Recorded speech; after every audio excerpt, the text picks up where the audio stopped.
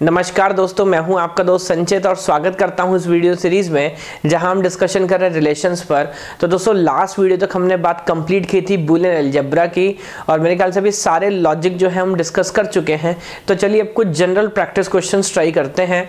आप पहले hedge diagram draw करेंगे, उसके बाद लेके लेटेस से, कि लेटेस है कि नहीं, अगर lattice joint semi lattice meet semi lattice आप पहले वो चेक करेंगे, उसके बाद देखेंगे कि बुलियन अलजेब्रा है कि नहीं, जिसके लिए कॉम्प्लीमेंटेड डिस्ट्रीब्यूटेड तो मेरे ख्याल से जितने भी प्रीवियस वीडियोस हमने देखे, उन सबका कंक्लूजन और नॉलेज दोस्तों यहाँ इस्तेमाल होगी। तो आराम से एक क्वेश्चन ट्राई करते और देखते क्या लर्निंग हमारी है प्रीवियस डेफिनेशंस और लॉजिक सीखने के बाद। तो चलिए दोस्तों, बात स्टार्ट करता हूँ और कुछ क्वेश्चंस यहाँ पर हमारे पास हैं। कुछ प्रीवियस ईयर क्वेश्चन है, कुछ अलग अलग अनसॉल्व एग्जांपल्स मैंने उठाए हैं बुक से। तो चलिए फ़र्स्ट केस देखते हैं ऑफकोर्स एक सेट है हमारे पास two three four nine twelve and eighteen with a division operator तो ऑफकोर्स पोस्ट का स्ट्रक्चर ये लिखा हुआ है तो थोड़ा सा मैंने ट्राई किया है, क्योंकि बने, बनाए स्ट्रक्चर्स पे काफ़ी प्रैक्टिस हमने की है। तो चलिए एक बार दोबारा रिवाइज करते हैं कि स्ट्रक्चर पहले बनाना है, फिर बनाने के बाद देखते हैं कि कौन सा कंडीशन सेटिस्फाई करेगा। तो डिवीज़न की बात है तो हम समझते हैं कि ए बी से रिलेट कब करेगा? जब ए बी को डिवाइड कर पा रहा होगा तो पहले छोटे नंबर से स्टार्ट करता हूँ। तो सबसे छोटा नंबर है हमारे पास टू तो देखिए प्रोसेस क्या है? दोबारा एक बार याद करेंगे।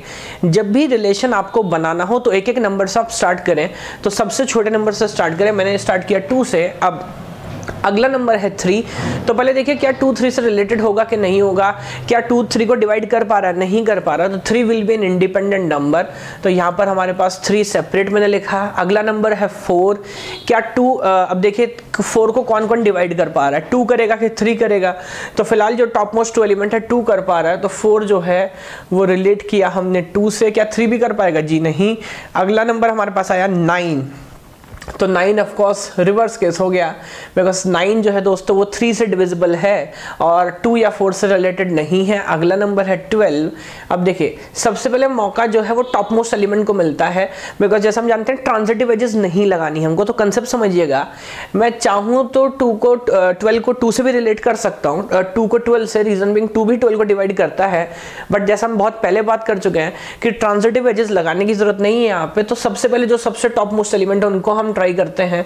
तो 12 जो है, देखिए, वो डिवाइड हो जाएगा किससे? मान लीजिए 4 से तो 4 का मौका दूँगा। क्या 9 से डिवाइड होगा? जी नहीं। क्या 3 से डिवाइड होगा? जी हाँ। तो देखिए 4 के साथ 3 भी यहाँ पर आने वाला है। तो यही अप्रोच है। एक एक वैल्यू करके ऐड करते हैं और टॉप मोस्ट एलिमेंट अगर नहीं कर पाता, फिर उस सीरीज़ में उसका नेक्स्ट वैल्यू करते हैं। तो यहाँ पर फोर को मौका दिया फोर ने रिलेट किया नाइन को मौका दिया नाइन ने नहीं किया तो अगला चांस मैंने थ्री को दिया।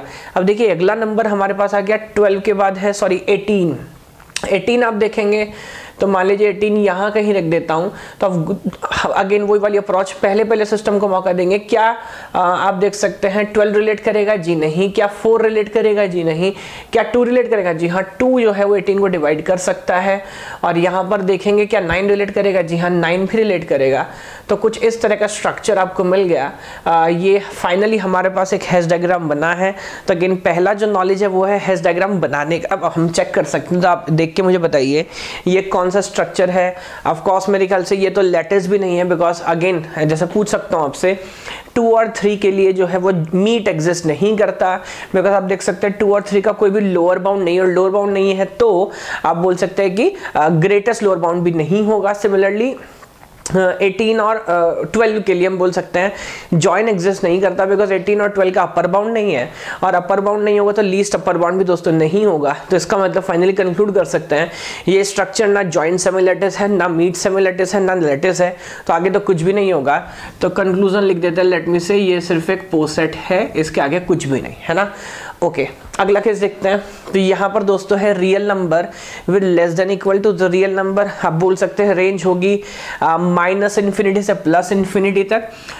Let me say from plus infinity vertically draw कर रहा हूँ बिकॉज़ जैसा आप जानते हैं हेज डायग्राम में हम वर्टिकली डिज़ाइन करते हैं और बीच में कहीं आपको मिलेगा ज़ीरो और लेस देन इक्वल टू तो मान लीजिए वन है टू है three so on and so forth similarly minus one minus two and so on and so forth ऐसे हम रिलेट कर सकते हैं। तो टू देखिए थ्री से रिलेट किया थ्री जो आ, है जो वो फोर से रिलेट करेगा। इस तरह से चेक कर सकते हैं। तो अब सबसे पहले देख लेते हैं जॉइन और मीट एग्जिस्ट करेगा कि नहीं? तो ऑफकोर्स टू और या वन और थ्री का जॉइन दोस्तों थ्री ही होने वाला है। बिकॉज़ वही वाली कहानी वन और थ्री का अपर बाउंड होगा। थ्री और उससे सारे बड़े नंबर और उसकी लीस्ट वैल्यू होगी थ्री सिमिलरली वन और थ्री का लोअर बाउंड होगा वन उससे सारे छोटे नंबर लेकिन ग्रेटेस्ट होगा वन तो किन्हीं भी दो नंबर के लिए जो है वो जॉइन और मीट एग्जिस्ट करेगा तो ऑफकोर्स ये जो है लेटेस्ट है। आप देख सकते वैसे अनबाउंडेड लेटेस्ट है। बिकॉज़ जैसे हम बोलते हैं ना every number on a number line every number has it successor and producer तो कोई सबसे बड़ा, सबसे छोटा नंबर हमारे पास नहीं है। तो ये एग्ज़ाम्पल होगा एक अनबाउंडेड लेटेस्ट का। बट अगली बात सोच सकते हैं, क्या ये अनबाउंडेड लेटेस्ट डिस्ट्रीब्यूटिव होगा? तो देखिए डिस्ट्रीब्यूटिव में हम क्या सोचते हैं? हर किसी एलिमेंट के लिए जो है कॉम्प्लीमेंट एग्जिस्ट करे आ, या ना करे लेकिन एक से ज़्यादा नहीं होना चाहिए। डिस्ट्रीब्यूटिव वाली बात रखेंगे तो एटमोस्ट वन कॉम्प्लीमेंट हमने सीखा था। तो मान लीजिए सपोज़ करिए देखते हैं वन का कॉम्प्लीमेंट कौन होगा? तो देखिए वन को आप किसी के साथ भी ज्वाइन और मीट करेंगे तो मेरे ख्याल से उसके लिए कॉम्प्लीमेंट आपको नज़र नहीं आएगा बिकॉज़ ज्वाइन करने पर मिलना चाहिए अपर बाउंड मीट करने में मिलना चाहिए लोअर बाउंड और यहाँ पर तो कॉम्प्लीमेंट का लॉजिकली कंसेप्ट ही आप बोल सकते हैं कि अप्लीकेबल नहीं है। रीजन बिंग की अपर बाउंड और लोअर बाउंड सिस्टम में नहीं है तो हाँ ये डिस्ट्रीब्यूटिव है बिकॉज़ कॉम्प्लीमेंट नहीं मिला। तो कंक्लूड कर सकते हैं, जी हाँ ये स्ट्रक्चर बन गया डिस्ट्रीब्यूटिव लैटिस कंसेप्ट समझिएगा। स्ट्रेट लाइन हमको मिली तो लैटिस हमको मिला, ये बात समझ आ गई। अगली बात, किसी भी एलिमेंट के लिए यहाँ पे कॉम्प्लीमेंट एग्जिस्ट नहीं करेगा बिकॉज़ मैक्सिमम और मिनिमम वैल्यू जो है, वो डिफाइंड नहीं है अनबाउंडेड सिस्टम है। तो कॉम्प्लीमेंट नहीं होता है तो हम मानते हैं कि वो डिस्ट्रीब्यूटिव लैटिस की कैटेगरी में चला जाता है। ठीक है? तो चलिए दोस्तों, अगला क्वेश्चन देखते हैं। यहाँ पर हमारे पास है D eighty one along with division तो जैसा हमने शायद पहले भी डिस्कस किया है, इस क्वेश्चन को कैसे रीड करना है? डी एट्टी वन मीन्स ये सेट है दोस्तों उन सारे नंबर्स का जो एट्टी वन को जो है परफेक्टली डिवाइड कर सकते हैं। तो कौन कौन से नंबर होंगे? तो मेरे ख्याल से कहानी स्टार्ट होगी वन से। वन के बाद थ्री डिवाइड करेगा देन थ्री के बाद you can have here of course nine then twenty seven and then eighty one है ना? तो एक तरह का स्ट्रेट लाइन आपको मिलेगा विद डिवीज़न अब ऑफकोर्स लॉजिक है, क्या स्ट्रेट लाइन लेटिस होता है? जी हाँ हमने पहले बहुत सारे क्वेश्चन ट्राई किए हैं। क्या ये कॉम्प्लीमेंटेड लेटिस है कि डिस्ट्रीब्यूटिव तो ऑफकोर्स जैसा जैसा लास्ट क्वेश्चन हमने देखा दोस्तों यहाँ पर कॉम्प्लीमेंट जो है वो एग्जिस्ट नहीं करेंगे बिकॉज़ वन और एट के एट्टी वन के लिए तो होगा बट थ्री का ऑफकोर्स यहाँ पर कोई कॉम्प्लीमेंट नहीं होगा। आप किसी भी एलिमेंट के साथ पेयर करके देखेंगे तो आपको सिस्टम का अपर बाउंड या लोअर बाउंड जो है नहीं मिलेगा।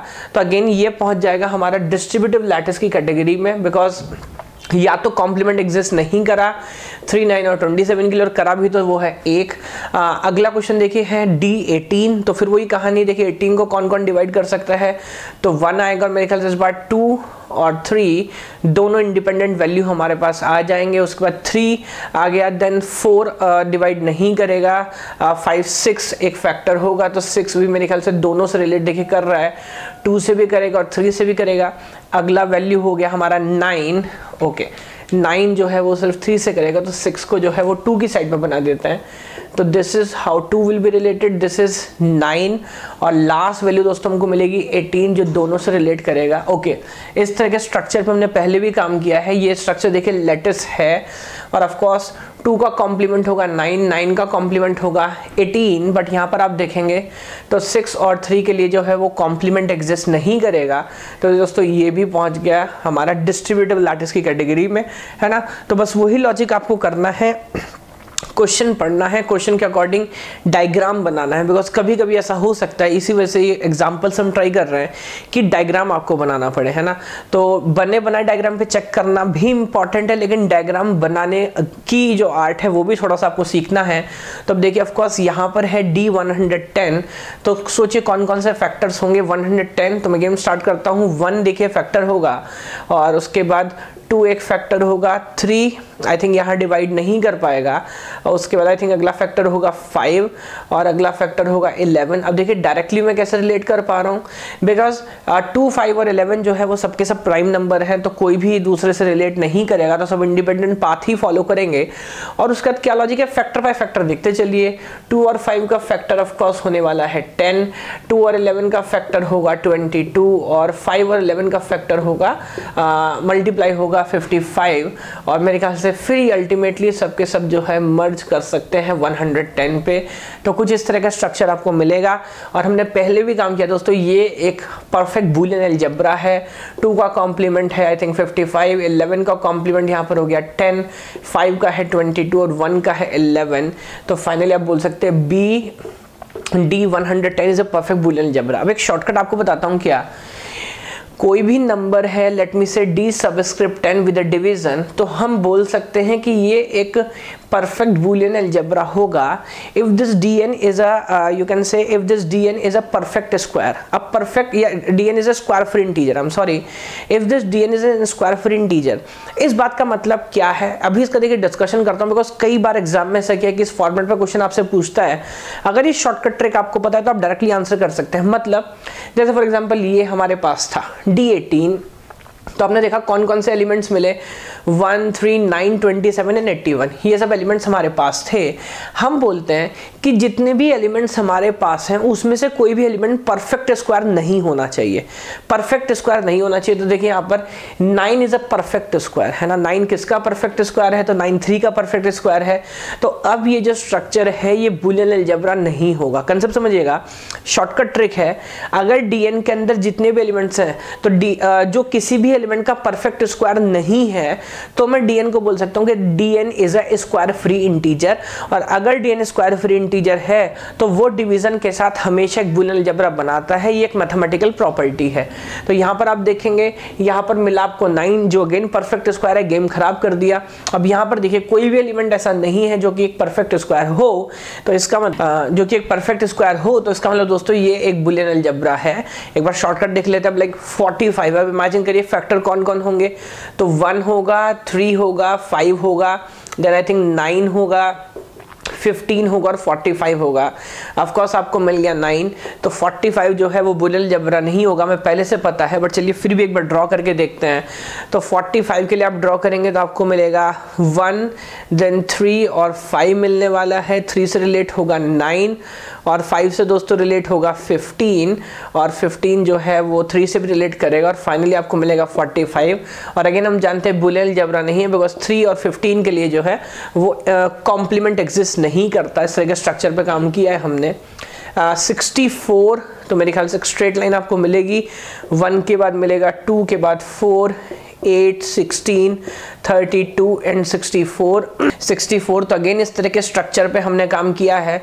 एक स्ट्रेट लाइन आपको मिला है तो हम जानते हैं कि ये जो है वो बनने वाला है distributive lattice because of course lattice तो ये होगा बिकॉज़ ऑफ़ कोर्स लेटेस्ट तो ये होगा पर हर किसी के लिए जो है, वो कॉम्प्लीमेंट यहाँ एग्जिस्ट नहीं करेगा, सिर्फ़ वन और सिक्सटी फोर को छोड़ के। अगला वैल्यू मिलेगा थर्टी तो थर्टी के वो फैक्टर सोचते हैं कौन कौन मिलेगा। वन मिलने वाला है टू मिलेगा थ्री मिलेगा फाइव मिलेगा देन सिक्स मिलेगा। एंड देन सिक्स के बाद आपको क्या क्या मिलने वाला है? थर्टी इज़ एन एग्ज़ाम्पल तो आपको टेन मिलेगा फिफ्टीन मिलेगा और थर्टी मिलेगा। क्या कोई परफेक्ट स्क्वायर है? जी नहीं। का मतलब ये भी एक बुलियन अलजबरा होने वाला है, आप ड्रॉ करके देख सकते हैं। तो वन के साथ टू थ्री और फाइव डायरेक्टली अरेंजमेंट में आपको मिलेंगे, फिर नज़र आएगा सिक्स और टू और फाइव का फैक्टर हो गया टेन और थ्री और 15 का एक्सक्यूज में फैक्टर हो गया 15 एंड देन आपको डायरेक्टली दोस्तों मिलेगा 30 yes it is Boolean algebra two ten जो है वो भी बुलियन जबरा होगा of course because one two five और टेन और कोई भी परफेक्ट स्क्वायर नहीं है. कुछ इस तरह का स्ट्रक्चर आपको मिलेगा one two three and fifteen ये एक और स्पेशल केस है। स्ट्रक्चर बाद में कुछ फैमिलियर आपको नज़र आएगा बट एक बार सॉल्व करना बनता है इसको। तो here you have a power set along with a subset operation तो एक बार देखिए power set with a subset एक एग्जांपल मैंने कोड किया। मान लीजिए कोई सेट है हमारे पास ए जिसमें हमने लिए तीन एलिमेंट्स लेट मी से ए बी सी तो पावर सेट ऑफ़ ए दोस्तों, क्या होने वाला है? तो दैट विल बी फाइव और जैसा हम जानते हैं power set is set of every possible subset तो सारे कॉम्बिनेशन दोस्तों मैं यहाँ पर बना लेता हूँ। ए बी होगा ए सी होगा then you'll have B C and then you'll have A B C है ना? अब देखिए सबसेट के रेस्पेक्ट जब ड्रॉ करेंगे तो बेस पे देखिए आने वाला है फाइव फिर फाइव से कौन रिलेट करेगा? ए बी सी तीनों के तीनों सेट रिलेट करेंगे। और फिर ये अपने कॉम्बिनेशन बनाएँगे तो यहाँ पर नज़र आएगा आपको सेट ए बी यहाँ पर ऑफकोर्स नज़र आएगा सेट बी सी और यहाँ पर नज़र आएगा आपको ए सी और ये तीनों के तीनों जो हमारा मेन सेट है ए बी से रिलेट करेंगे तो फिर वही उसी तरह का स्ट्रक्चर है। ये भी एक बुलियन अलजबरा है। एक बार ध्यान रखिएगा कोई भी सेट पावर सेट आ, कोई भी सेट का पावर सेट सबसेट के रेस्पेक्ट में जो है वो दोस्तों हमेशा बुलियन अलजबरा बनता है। एक और देखिए, इसमें मज़े की बात क्या है कि बिकॉज़ डायरेक्ट आप सेट स्ट्रक्चर पे काम कर रहे हैं और मैंने बार बार इस पूरे टॉपिक को सेट से रिलेट किया है तो देखिए यहाँ पर कॉम्प्लीमेंट ढूंढना कितना आसान है। मैं आपसे पूछूँगा वन का कॉम्प्लीमेंट कौन है?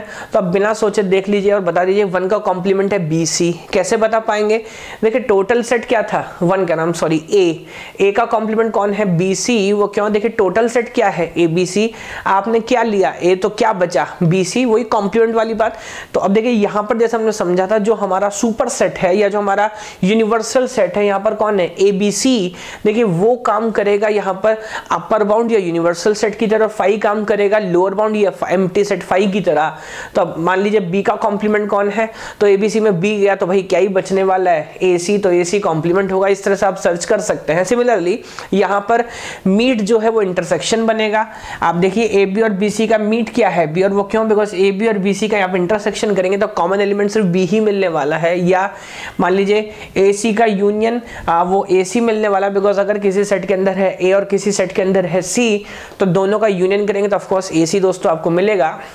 तो खैर, इस तरह का स्ट्रक्चर जो है, वो हमेशा बुलियन अलजबरा बनता है, a power set along with a subset operation खैर, कुछ एग्जांपल्स मैंने कोट किए, नई बात कुछ नहीं सीखी, सिर्फ़ थोड़ा सा प्रैक्टिस की है कि किस तरह से हम जल्दी से हेज डायग्राम ड्रॉ कर सकते हैं और ड्रॉ करने के बाद फिर कैसे पता लगाएँगे कि स्ट्रक्चर जो है वो लेटिस है कि लेटिस भी नहीं है या फिर बुलियन अलजबरा है डिस्ट्रीब्यूटिव लेटिस है कॉम्प्लीमेंटेड लेटिस है।